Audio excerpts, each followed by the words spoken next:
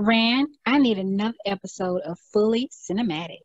When Jurassic Park hit theaters back in 1993, it went on to become the highest grossing film of all time up to that point, eventually grossing $1 billion at the box office, without adjusting for inflation.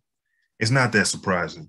It gave us what we believe are realistic looking dinosaurs and was universally loved. Then the sequel was released.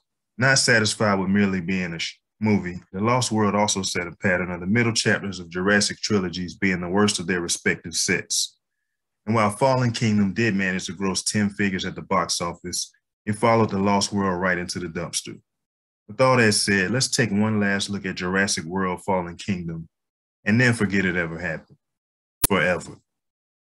We begin with a pair of mercenaries searching the area around Isla Nublar for Indominus Rex remains in a submersible.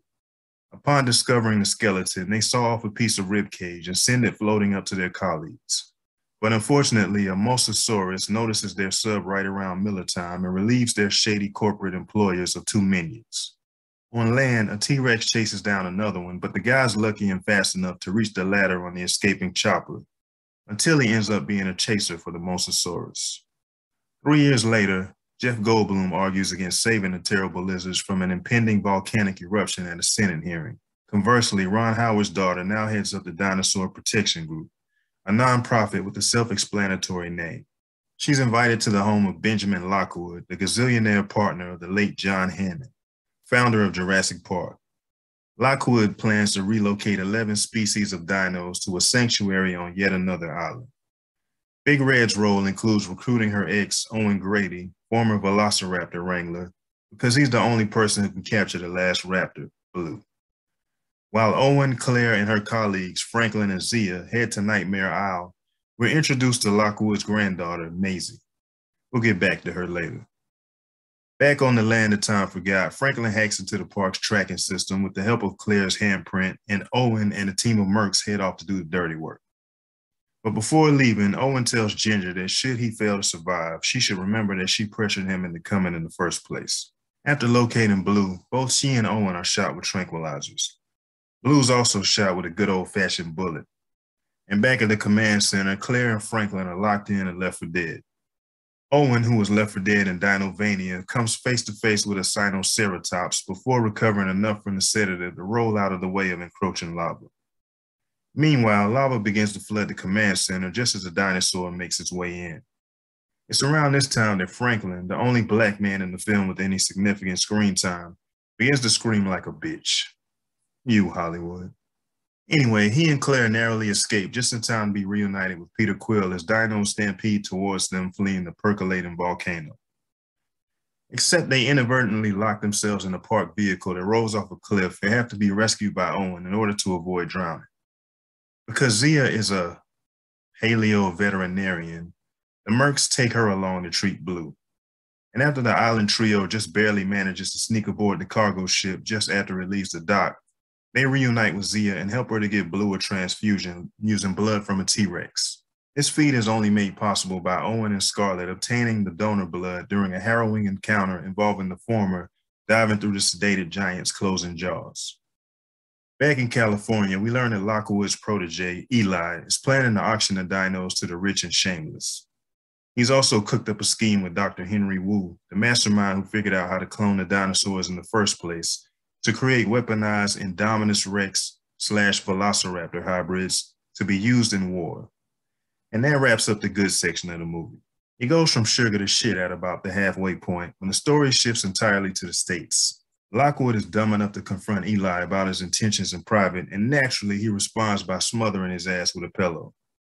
This dingbat actually expected an exotic animal smuggler and would-be arms dealer to turn himself in to the police. Yeah, okay. Before they can alert the authorities, Owen and Carrot Top are captured and imprisoned on Lockwood's estate, where Claire's called out for knowingly exploiting endangered species and authorizing the creation of the Indominus Rex for financial gain back at Jurassic World. After being locked in her room, Maisie sneaks out just as the guests are arriving for the auction and discovers to her horror that her grandpappy is dead. She also sees a picture of her mother for the first time and notices that they look exactly alike. Meanwhile, Owen liberates himself and his cellmate by goading a Stygio into breaking through the brick wall between their cells and subsequently through the cell door. They immediately meet Maisie and eavesdrop on the auction where the Indoraptor prototype is sold for $24 million, despite Dr. Wu's protests. I still don't get why Eli is so impressed by that sales figure. You'd think that the only animal of its kind on the planet would easily be worth much more than two dozen M's. Not to mention the fact that this mother mentor is a billionaire.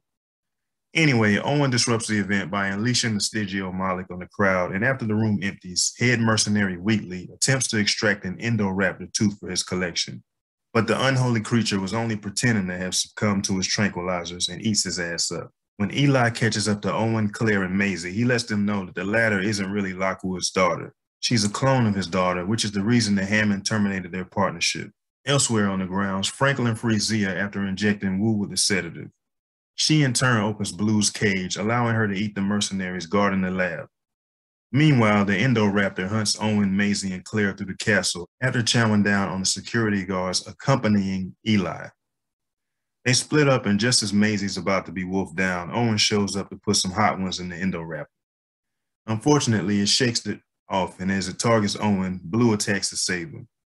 When Owen and Maisie escape to a rooftop, the Indo follows, but Claire shows up with a specialized dinosaur rifle and for some reason sets her laser sight on Star-Lord's chest and hits the button signaling it to attack. Luckily, Blue shows up again, jumping on the Indo's back, causing them both to crash through the skylight, and the Indoraptor is impaled on the dino skeleton below. After Red wises up, following her initial intention to do the same thing, Maisie's dumbass opens the door to all of the dinosaur cages and they all escape into the California woods. After a couple pause to snack on Eli, of course, cut to Jeff and Goldblum warning the Senate panel of the dangers of introducing dinosaurs into modern ecosystems. Oh, and if you just can't resist watching this piece, there is a brief post-credit scene. Jurassic World Fallen Kingdom is a pretty accurate title, given that the movie is an enormous step down from its predecessor. Jurassic Park kept with the tradition of killing a black character first, and Kingdom features the cliche of the black guy being a pussy. Say what you want about Jurassic World, it represented a mammoth comeback for the series and resurrected it much like Hammond's team of scientists reintroduced dinosaurs to the world. JWFK pissed all over that. And taking the blah blah dons and yada yada sauruses out of the park has never worked out very well in any of these stories which is a lesson that should have been learned from the lost world. Talk about taking two steps forward and one giant step back. But hey, some mother are always trying to ice skate uphill. In other news, it's time to highlight a few comments the viewers left on previous videos. After watching the Christmas episode, Kid Sam said, Awesome channel, like the content. Appreciate you saying that, Sam. Responding to the Benedetta early review, Quiet Storm said, Ran TV, I'm intrigued but terrified. I get it, Quiet Storm, it's quite a spectacle. And commenting on the Top Gun Maverick Better Be Worth the Wait show, fresh out the shower said, Maverick definitely better be good. I think it will be, and I'm ready to see it. I hate I missed out on the good seats for the early screening. Firestarter is one of my favorite Stephen King movies. Overall, I like the movie, but I think they dropped the ball on how good it could have been. I might do a review on it. For anyone who didn't see the original in the 80s, I wouldn't recommend going back to watch it now. But casting Drew Barrymore as the mother would have been dope. I wasn't too big on the last Jurassic movie, but I'm definitely going to see this one. It looks like it's going to be better. To me, the only returning actor worth mentioning is Jeff Goldblum. LOL. I agree, Fresh. Somebody definitely dropped the ball on Firestarter.